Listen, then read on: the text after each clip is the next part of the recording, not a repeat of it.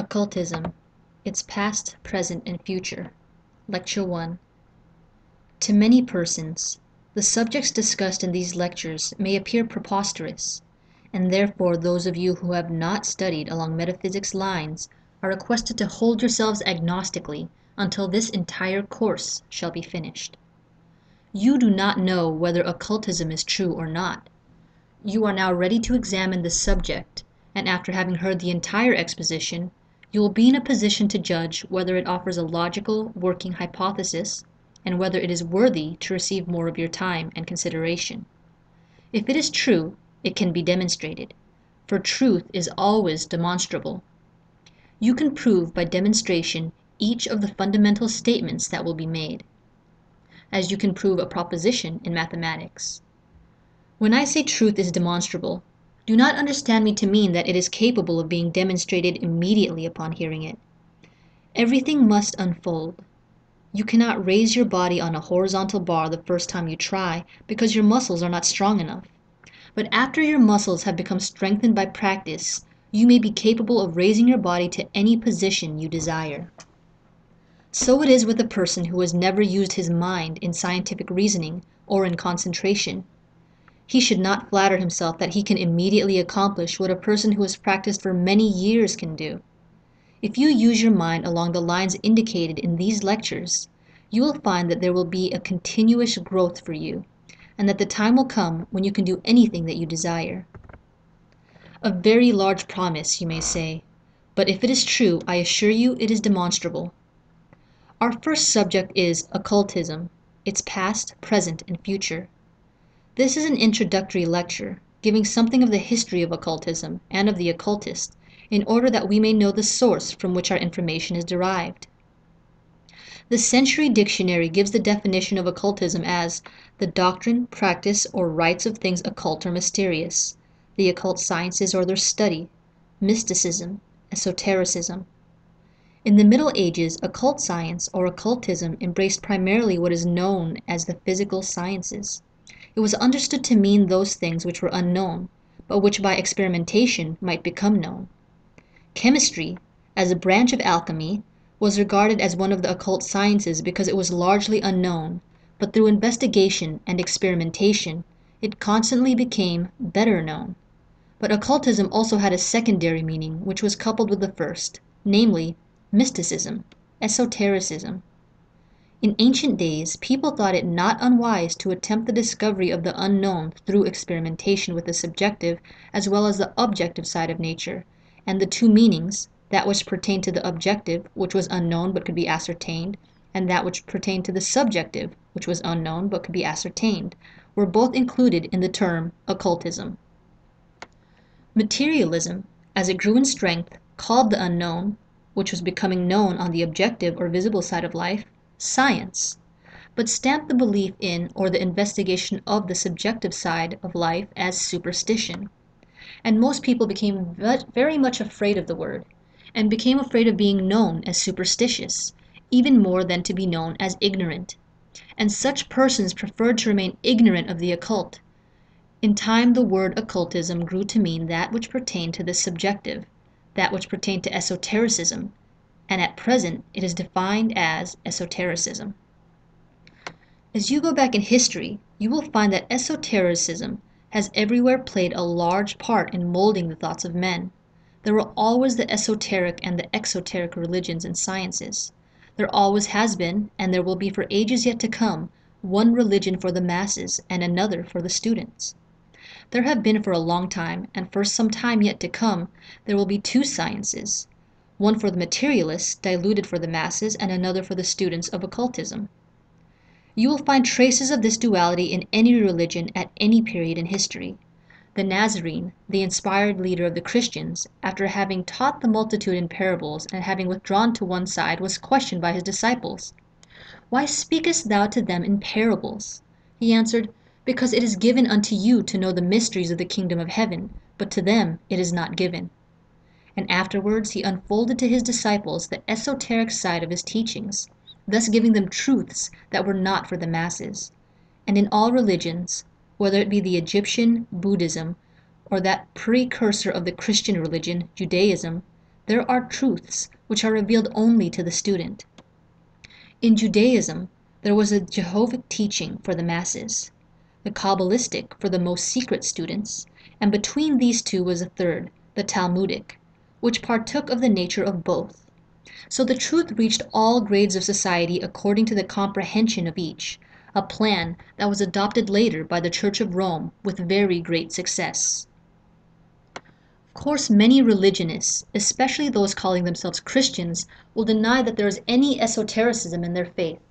But those who are acquainted with the history of the early Christian church and the writings of the fathers, and those who are familiar with the philosophy of the Logos and the mysticism of Paul as shown in his epistles, will never attempt to deny it to the educated. But however violent the denial of esotericism may be, the religionist it will not exceed in violence the denial of the term science to anything pertaining to the occult by the majority of the modern physicists, yet scorn, laughter or denial will not blot from the pages of either sacred or profane history the fact that magic was and is practiced among a people.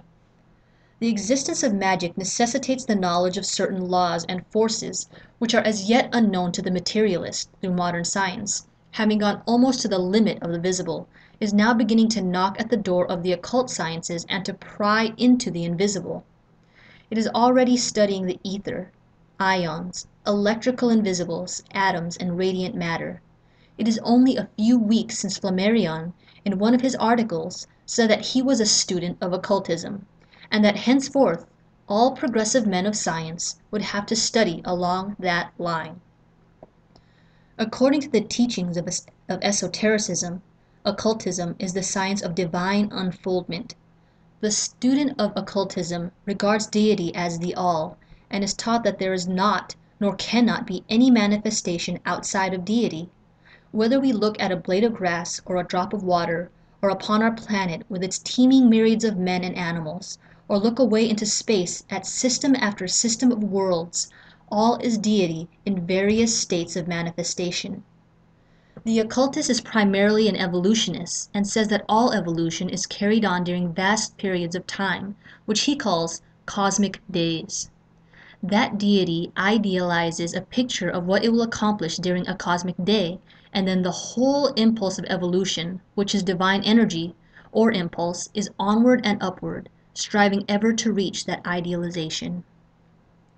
Everything in the universe is an unfoldment of deity itself and occultism is the science of that unfoldment. It teaches the laws under which that unfoldment takes place, not only upon the objective plane of life, but also upon the subjective plane. The occultist finds that where he merely stutter, studies the modern sciences he is only studying the sciences of effects, for there is not one of the modern sciences that teaches the cause of phenomena. Take the subject where modern science has perhaps made as much progress as in any other line, embryology, we find there is a germ. It has a form of life, a method of accretion. It reaches a certain point of development.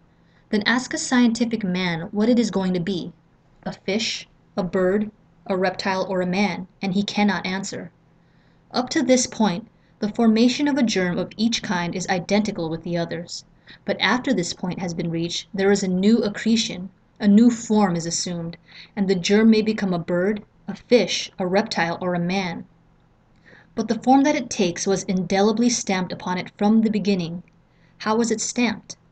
What determines the diverging point? What determines the form of consciousness, the form of expression? In the science of embryology there is no satisfactory answer to be had, because here, as you see, is a study of effects. The cause is not looked for, is not found. The student of occultism says I want to know when the ideal, which determined all its future growth, was stamped upon that germ. I want to know why, when it reached that point it became a man instead of a bird, why it drew to itself certain elements and threw off others. I want to know the laws that govern the subjective side of life. I want the veil to be torn away that I may see the cause of form and not only its effects. This is why he attempts to study first upon the objective side of life and then upon the subjective, or to study them contemporaneously. As materialistic as was the nineteenth century, we find that a few men once more began to turn their thoughts toward the realm of the unknown and unseen in order to discover, if possible, the why of existence. And certain scientific men thought it not unreasonable nor undignified to investigate the occult or to organize the Society for Psychical Research for the purpose of investigating these occult subjects. We have seen the great cult of spiritualism spreading through the world and have witnessed the revival of palmistry and of astrology and other quasi occult sciences.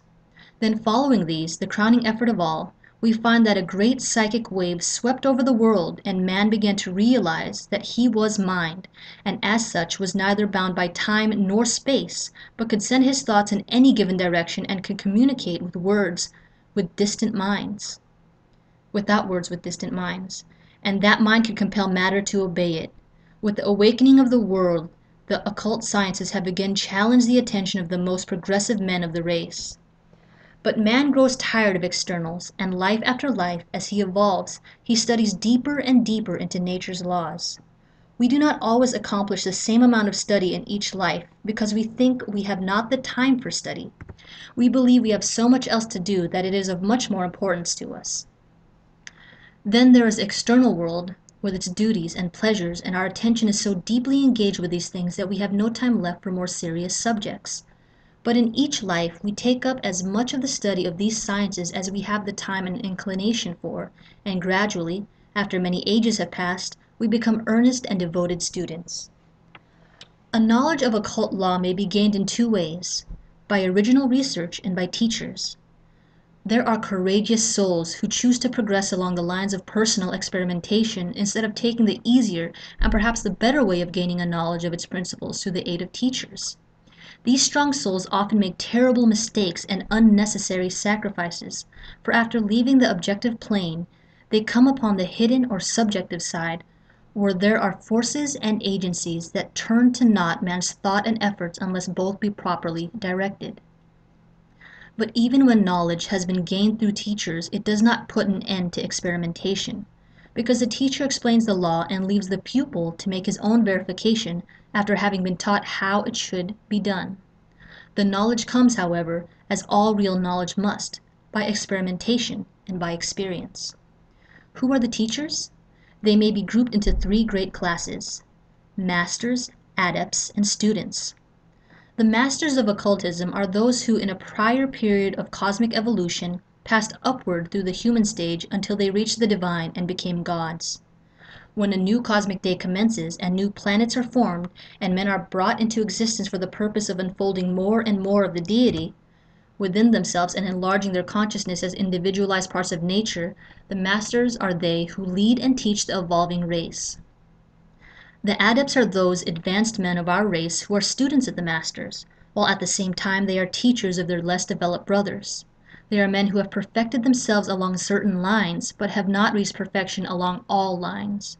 The students are they who are studying under these adepts. They are persons who desire to know the truth and have devoted themselves to the study of these particular sciences, and they hold the same relation to the adepts as the adepts hold to the masters. There are different grades of masters, because they who finish their evolution upon their system of worlds earlier in the great cosmic day are stronger than they who have finished later, and so there are grades of adepts and of students. We find that there are everywhere grades of intelligence; in other words, that which Huxley speaks of as a scientific necessity is true, and there are intelligences in the universe as superior to man as man is superior to a black beetle. Take for instance a Patagonian or an Australian bushman and contrast him with an Emerson. What a vast gulf separates these two intelligences! Yet both are proceeding upward in their evolutionary career, the one, of course, being in advance of the other. And it does not require much scientific imagination to conceive that there is an infinite gradation of intelligence, because we see such a diversity everywhere then it is only logical to suppose that what is true upon the lower plane of our daily experience is also true throughout nature. The masters and adepts are the custodians of the occult sciences, which are perfected sciences, it is claimed, because they cover all departments of nature, both physical and metaphysical, the objective and the subjective. Now all the facts and principles of these sciences must be verified by each person as he progresses along his evolutionary path. I may tell you something that may seem absurd to you, or you may say that sounds reasonable, and therefore you believe it. I may tell you something else and you say I believe that is true because both the intuitive and rational portions of my nature endorse it, but you do not know whether it is true or not. In the first case you have a disbelief, in the next two cases a belief but before you have a knowledge you must verify the truth of my assertion, and so it is that every student of occultism must verify each statement of his teacher in order that he may make it a part of his own being, that he may know that it is true. Otherwise it would be only a belief, and beliefs do not amount to much, because there are almost as many beliefs and theories as there are individuals. In this cosmic day Occultism commenced when the Masters came upon this planet to teach mankind. The evolution on this planet is divided into a certain number of periods, and we are at the present time in what the occultists know as the fifth period. In the first and second periods very little was accomplished by man. He was, as it were, in a new world, with new sensations and new experiences, and his life was entirely objective and largely animal. His theater of activity was that continent known to tradition as the Land of the Gods, Mount Meru, the Imperishable Isles, or what we could prosaically call the continent of the North Pole. During the third period of evolution man lived upon the continent known as Lemuria, a continent lying in the Pacific Ocean, Arabian Sea, and Indian Ocean. Its northern portion was much in the present location of Australia, the Philippines, and the islands of the southern Pacific, all of which constitute the remnants of that continent now sunken beneath the seas. That periods occur in which there is a sinking of certain continents and a rising of others is well known to physicists as to occultists. In Lemuria man passed from his lowest state of animal existence into what we may call a more rational, or human state. His development during this time is substantially shown in the history of primitive man. Some of the egos outstripping the others, succeeded in reaching adeptship along certain lines, but the great mass of the people lived sensuous and sensual lives. There was very little spirituality manifested by the race during this period, and the perversion of natural laws and forces became marked toward its close. The most notable event which occurred on that continent immediately prior to the cataclysm which swept it beneath the waters was the establishment of colonies in India. The colonists consisted of masters, the adepts, and the cream of the race. It was these colonists who built the rock temples of Elephanta and the other great temples of India, those temples in which mysticism seems to have had its earlier home, and where upon their walls are painted the strange old symbols in colors that indicate the history and the growth of man. Those were the souls who gave to India its riches in literature and philosophy, and established the mighty empires which even tradition has forgotten. But it was the degenerate descendants of these colonists who spread northward and westward and populated first Asia and later Europe. After the continent of Lemuria had passed away, then came the fourth period, with man's field of activity in Atlantis. Atlantis extended from the West Indies to the coast of Central and Northern Africa as we know from the investigations of the British government, which spent many years and large sums of money in determining the extent of the sunken continent. And it was here that civilization proceeded with tremendous strides. All the accumulated knowledge of the other periods was stored in the minds of those who had been the Lemurians and were then incarnating as Atlanteans. As they acquired greater and greater knowledge they not only reached a point in mechanical development far beyond anything that we have reached at the present day, but they also took up the study of occultism, which became common among the people. By the time the great masters had retired from physical contact with men, and the adepts had taken their places as direct teachers of the people, they moved among men, and were the kings and rulers, the lawgivers and inventors. In fact, they were the inspirers of the race up to the time it reached the highest point of development in that period. Then the continent became divided into five great kingdoms, and in each of these there were lodges of adepts. At the height of Atlantis' glory, once more the people turned to sensual abandonment, and the adepts withdrew into retreats with their pupils, for the people refused to listen to them or to be aided by them any longer. In the course of time materialism swept over that continent, as it has swept over Europe and America. The, and occultism was forgotten by the masses and remembered only by the few, and then gradually that which was pure occultism became perverted, and men began to use their powers criminally.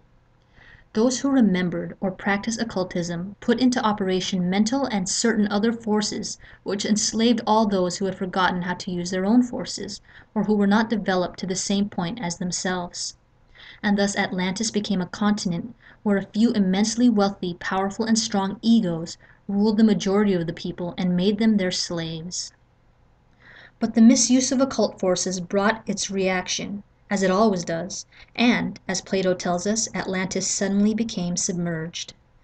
You remember that when he went to Egypt he was informed that the last remnants of Atlantis had disappeared about 5,000 years prior to his visit, and also that the priests had records of the old continent as well as of their own country, which extended back thousands of years. These records were kept by the occultists who were priests in the time of Plato and are still kept in triplicate one copy has been placed in each of the three great repositories situated on separate continents. Before Atlantis went down, those of the inhabitants who had preserved their purity and who were trying to lead upright lives were taken by the adepts out of the country. Those living in the Western empires were colonized in Central and South America. In Central America, that rare civilization which preceded our own was founded, and was the duplicate in every respect of the one formerly established in India the degenerate descendants from the Central American civilization immigrated to North and South America and populated them. The degeneracy of these aboriginal Americans was due to the fact that at the time, in that fourth period, the undeveloped souls of the Atlanteans were incarnating in those bodies. For it was with the Atlanteans, as it had been with the Lemurians, the strongest souls came first and became the pioneers. They bore the heaviest burdens, and those prepared the way for the less developed souls who had not the strength to do the work that their elder brothers had done. And it should not be forgotten that the history of the Lemurians and the Atlanteans is but the history of ourselves. Our strongest and bravest souls came forward to start the fifth period onward in its evolution, as even a cursory reading of a general history will disclose, and they have reappeared from time to time to manifest their energies in the several lines of human achievement, in order to teach, help, and direct the course of events. From the eastern empires of Atlantis the advanced souls went into Africa and laid the foundation of what is now known as the Egyptian Empire. And this brings us to the fifth period, in which occultism was again taught popularly and openly among the people. A study of Egyptian history reveals that during its entire period there were occultists magicians they were called who could produce great phenomena. They were teachers of the people and were the priests and lawgivers. They were the friends of kings and were consulted whenever there was sickness or national calamity. These teachers were the adepts who came in contact with the people. In the fifth period, which is the present one, the descendants of the colony which remained in India, having reached the height of its prosperity and development, passed westward and founded the Assyrian and Babylonian empires. There again the adepts moved among men. In both sacred and profane history of those times we find that the Magi were able to cure all manner of diseases and to manipulate the laws of nature. Passing upward from Babylon and Syria to the Mediterranean on the one side and through Egypt to the Mediterranean on the other, we find that the great remnants of the third and fourth periods were submerged and blended in the fifth period in the Phoenician, the Grecian, and the Carthaginian and the Roman peoples. This is not a statement of occult history in full but is merely the barest outline in order to show you how occultism has been presented in the past and how it has been preserved for us. At the beginning of this fifth period we had a new burst of occult knowledge and force, because all the knowledge acquired in the preceding periods by the egos had been brought over in these later incarnations, and in the early history of each of the nations mentioned occultism was taught to those people once more. The adepts were friends of the people and were freely consulted by them, but gradually, as materialism advanced and sensuality became the dominant trait of each of these peoples, the adepts withdrew again from personal contact with the world, as the great masters had withdrawn in previous periods of time.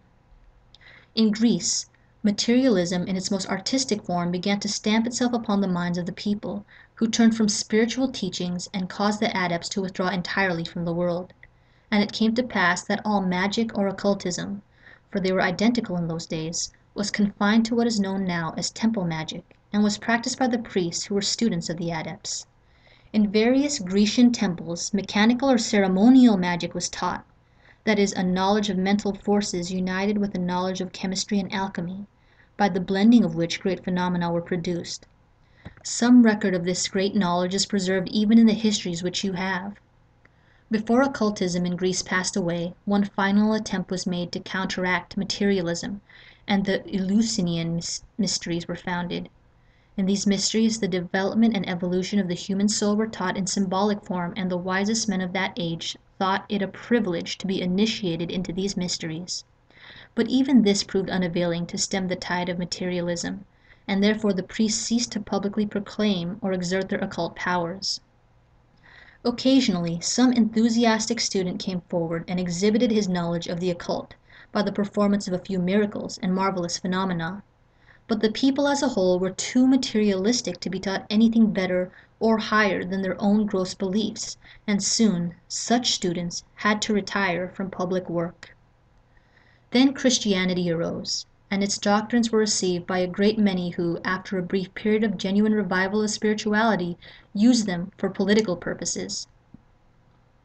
The different orders of the priesthood became the occult bodies within the Christian Church, and up to the Middle Ages the priests in the Church possessed all the knowledge of occultism that the world had, and the Catholic Church is now the only one that has preserved a trace of this ancient truth.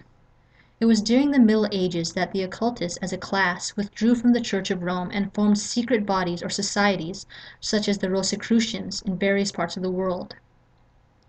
At the present day almost all occult knowledge is possessed and preserved by secret societies, and the members of these societies or bodies only teach such individuals as have reached a point in their evolution which has made them capable of receiving the higher truths. In this way portions of this secret knowledge are given to the world from time to time as the world becomes able to receive them. The culmination of what is known as the Dark Age in this period of evolution came in the nineteenth century, for at that time the world reached its lowest point in materialism, and from now the tendency will continue to be upward toward spirituality. A few occultists believe that the time has passed when there is a necessity for guarding the secrets with such jealous care and believe that the world is ready to receive more of these truths than formerly. Then, too, many persons are making discoveries along these lines and are ignorantly misusing the forces they are learning to use. So it has been decided to teach the people something about these forces, and how they can and should be used, in the hope of averting, if possible, the fate of Lemurians and Atlanteans.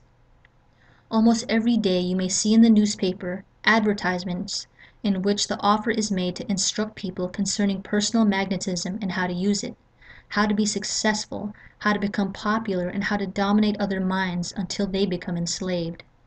The people are awakening and are beginning to feel a great desire to know about these occult forces, and if they do, if they do not use them rightly, they will surely use them wrongly. At the present time various efforts are being made to give the occult teachings to such persons as are fitted to receive them.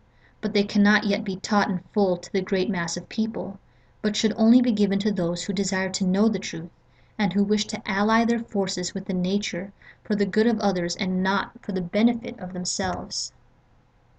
Now you are not going to be taught all there is about occultism in these lectures, but only that particular portion which teaches what the great universal mind is, and after that what you are, and what, what your subjective and objective minds are, and what occult forces each of these minds reaches and controls.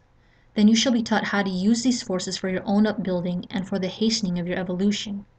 We shall confine ourselves to mental lines, taking fragments of occult history and bringing them together into a small mosaic which will show you your relationship to the universal mind and how all humanity is but a manifestation of that great mind we shall learn how to build ourselves up along spiritual, mental, and material lines, because this knowledge can be used successfully along all three. We all want to succeed in life materially, and most of us want to grow in knowledge and power, and it is through the use of these forces that we accomplish our heart's desire. The time is fast approaching when man must learn to use his mental forces or fail in the great evolutionary struggle, fail for this entire period, not to take the battle up again until some other cosmic day shall come. in the course of time all men who survive will become occultists.